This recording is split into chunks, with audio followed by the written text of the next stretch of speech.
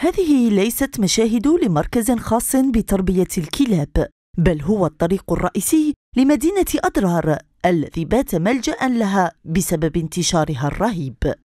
راه تشكل مشكل كبير واخا ونطلب من من, من السكان اللي يسكنوا في, في, في الأحياء المجاورة كما تيليلان كما 140 دوك الديار تاع ترواسو كما نطلب منهم ماذا بهم يشدوا ولادهم ولا يكون يدخلهم بكري ولا يخرج يخرج مع ولده مواطنو المدينة أبدوا تذمرهم من هذه الظاهرة التي قد تأتي بخسائر مادية وحتى بشرية في حال عدم مكافحتها. كده بالضل راه يطرح مشكل كبير.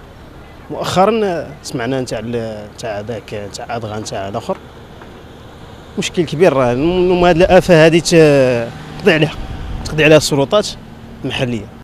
السلطات المحلية بدورها كثفت من الحملات لمكافحة ظاهرة انتشار الكلاب الضالة. قمنا آخر عملية في شهر جويي لإبادة الكلاب الضالة.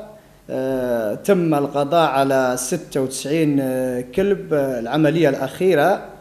آه، ونتمنى إن شاء الله إننا عازمين على تواصل إبادة الكلاب الضالة آه، في الأيام المقبلة عن قريب إن شاء الله.